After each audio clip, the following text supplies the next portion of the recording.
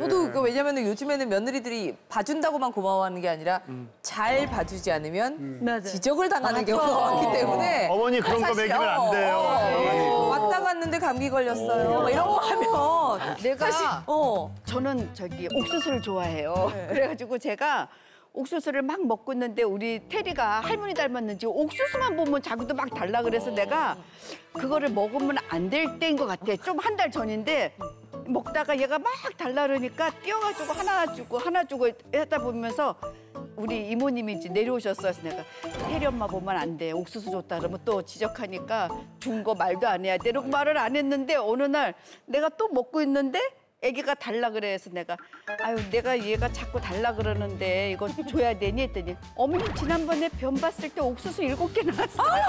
와 대박. 야 나왔구나. 증거가 애기가 나왔어. 100% 나와. 아직 아직 소화가 그거를 분해시키지 못할 때 야, 내가 옥수수를 한 일곱 개를. 줬거든. 그러니까 얘가 어머니 그 일곱 개 그러니까 자기도 알고 있었으면서 나한테 말은 안 한 거야. 네. 저 같은 경우는 이제 지금 애가 없잖아요. 네. 근데 이제 저희 조카들이 셋이에요.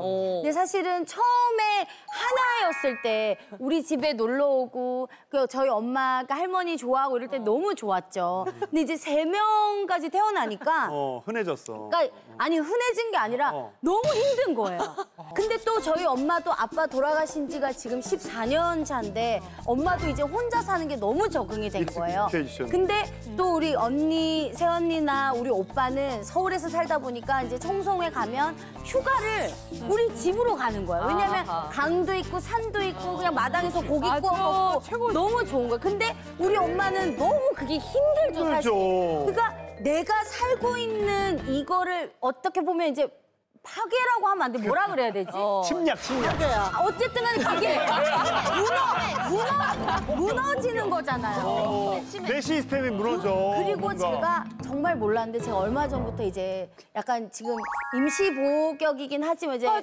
강아지를 키우게 됐어요. 예쁘더라고. 근데 제가 뭘. 깨닫게 됐냐면요. 이해하지. 못했던 부분이었는데 밖에를 못 나가요. 제가 진짜 밖에 좋아하는 거 아시죠? 그리고 제가 잠깐 일하러 갔다가 이제 원효 씨가 보고 있을 때 들어오면 원래는 저희가 부부 사이가 너무 좋잖아요. 그렇지, 그렇지. 또 들어오면 막 이렇게 스킨. 뽀뽀하고 이렇게 해야 되는데 정말 들어오자마자 얘가 어떻게 있었을까? 오만 지금도 녹화하면서 계속 그 강아지 생각이 나는 거예요. 그러니까 이럴 정도로 그러니까 강아지가 중요한 이게 아니라 나와 생활을 함께하는 어, 내 생활 그러니까 내 생활의 패턴이 있는데 누군가 들어온다는 자체가 이제 힘들어지는 맞아. 그런 것 같아요. 아, 예, 예.